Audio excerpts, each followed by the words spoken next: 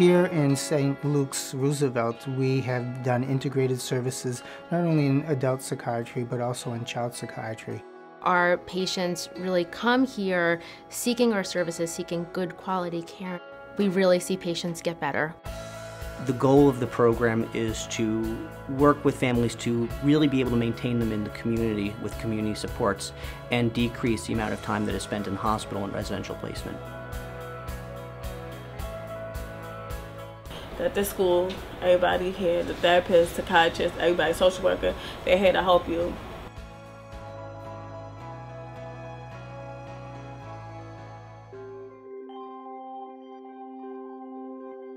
looking at the whole individual is really important here and being able to help them lead the healthiest lives possible. And it's amazing what a little push and a little support will do in the beginning of someone's life when they're struggling. We really provide a lot of state-of-the-art treatment to a population that wouldn't necessarily have access to those services. You know, we're, we're a community mental health center in many, um, in many ways, but we also really bring together so many different treatments. And so we provide uh, thousands and thousands of services per year for children and their families. And we have a very wide array of children's services, and I think that's what really gives it its, its cachet in the sense that we're very community oriented. We've been providing services for decades. Every student that's here is assigned an individual therapist for themselves as well as a psychiatrist. They work with a whole team of clinicians who would provide them with their group therapy and their milieu therapy and their family therapy. And it's really, the, the main thing that we offer is just this very safe therapeutic holding space for them. In CARES, it's like you guys are all individual. You know, like they focus on what they can do for you and how they can help you, not just to get you out of there, but more to like help you succeed. I had a difficult time, but the staff and my therapist have really worked with me to keep me in the program and I kind of just made the choice like I don't want to be a failure. Without CARES, I'd probably still be using drugs. I probably would have not graduated from high school. I wouldn't be working there now and I probably just would have been lost challenges for us are the challenges that I would assume child services face everywhere, and that is proper screening and identification of, of disorders that require clinical uh, intervention, clinical treatment. The sooner that you can intervene, the more uh, able you are to make profound changes in the trajectory of a person's life. Studies have shown that 20% of all adolescents have some type of mental health uh, diagnosis. But out of that 20%, only 20% of that 20% is actually getting mental health services. And the school-based population is a natural place to have mental health services within the schools because this is where kids are. Being there and letting them know uh, and helping them assess what is in their best interest, okay, so that they can get to that healthy, functional status as adults, uh, I think is part of our goal a lot of these kids, when I've first seen them, don't necessarily believe they're going to live beyond 25 and they don't necessarily believe that they can get a college education and so part of the therapy is really opening up their perspective of, of what is possible. We really try to work with first providing safety, you know, helping establish a trusting relationship so that you can move on to some more of the work in terms of building skills to cope with stressors, um, helping the family understand where the child's at and providing the best, um, providing for their needs. My son Stefan was having a, a, little bit of a hard time and he wound up at the emergency room in St. Luke's well, my life was a complete disaster before, like in and out hospitals, and cause that was back when I was, you know, really depressed.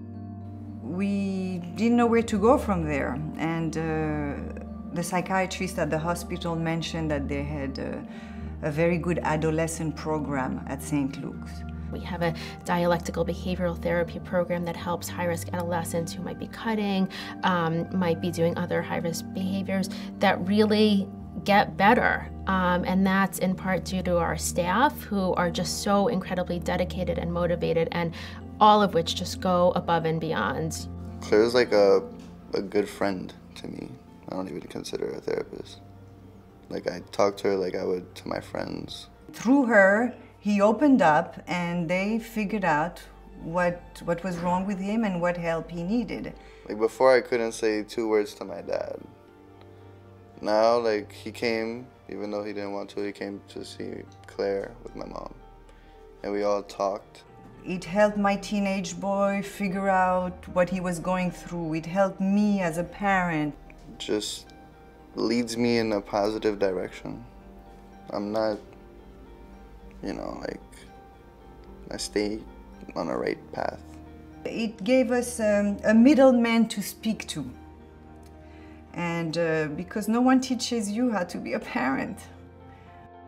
I didn't know what was wrong with my son. I knew that he had some serious problems and needed help, and we were just, we were in a bad state. They had plugged us in and connected us to all of these services within weeks.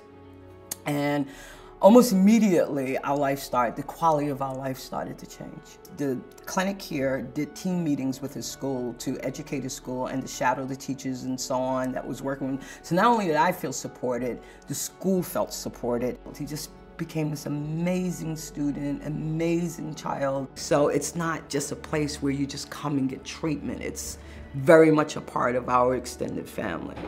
When Daniel was younger, the play therapy, even though you didn't know it was like trying to get you to figure out things, um, was so good that they were able to extrapolate the things that were bothering him and how we were going to deal with it then, then after.